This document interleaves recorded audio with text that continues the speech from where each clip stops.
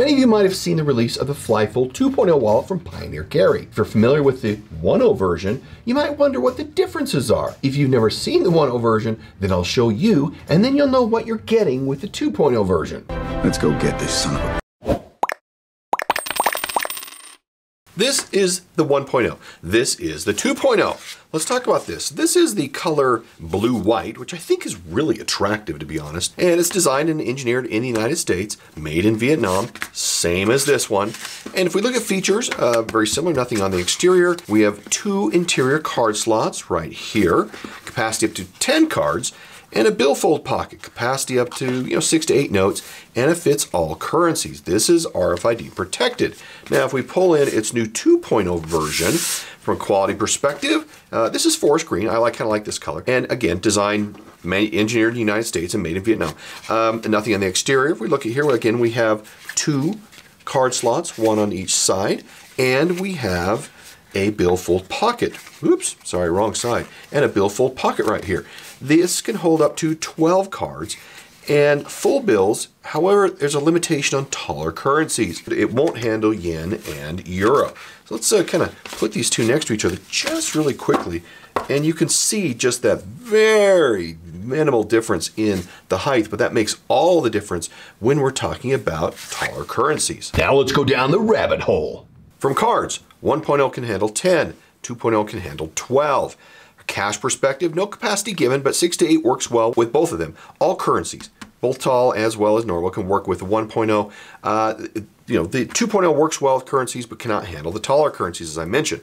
From a measurements perspective, you can see the difference, difference between the two, and you can see that the difference in the width of the 2.0 is markedly different as well as the height, which really comes down to that currency differential. You can see that 1.0 is heavier by way of materials. Interesting. So let's look at the build differences. These two have some similarities, including their name, but the 200 has been completely redesigned. And you can see this when I pull both of these open, and you know it's a little rough because of the material here to try and do that, and they're bifolds, they want to close, but you can kind of see that here. We begin to see that there is uh, differences in design and construction. Uh, the geometry of the material used, the cuts that are made, where the sewing was done, they're all different. And you know, you've got a few little design elements in here. Now, how you place cards from the seam in on both of them is the same. That provides great security as cards face inward, you don't have that problem. Now, the visual aspects of this is also interesting. You can see that on, uh, I, I, really like these, um, this, this sewing pattern they have here. And these are full slots, while this on the 2.0 is just a slit between them. You can also notice here that we have a fold over of the material which is sewn, and that is something that we do not see with the 1.0. It's just a sandwich of material and it's just then sewn. It's a fold over, which is more traditional bifold manufacturing techniques. Of course, you can also see the difference in the rounded corner on the 2.0. You've got a tight square as well, as well as a cutoff up here. And so, like I said, this is what you would tra traditionally see with most bifolds. And uh, by way of material at the end, for capacity, can you see that top loop right up here? I kind of put my finger in.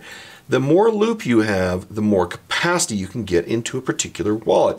And you can also see the length here in the bottom. That's what provides flex as you have more that goes in by way of cards and cash, and that's why we see the difference in the capacity between these two.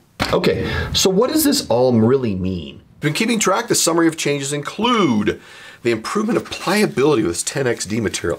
I'm just not putting much effort into this. The original 1.0, if I'm putting that same amount of effort, this is very, very stiff.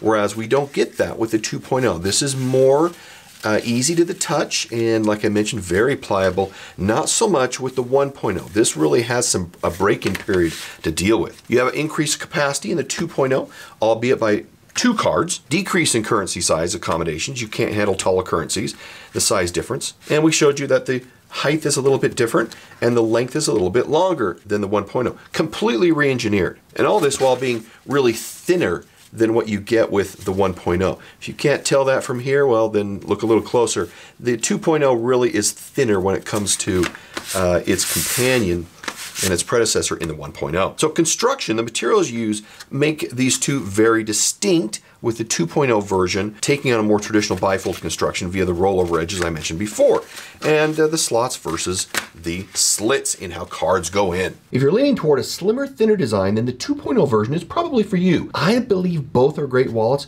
but if you like the 1.0 version, you're kind of out of luck because only the 2.0 is sold now. If you found this video useful, useful, then I'd recommend watching this video next, and we'll see you in the next review. Bye.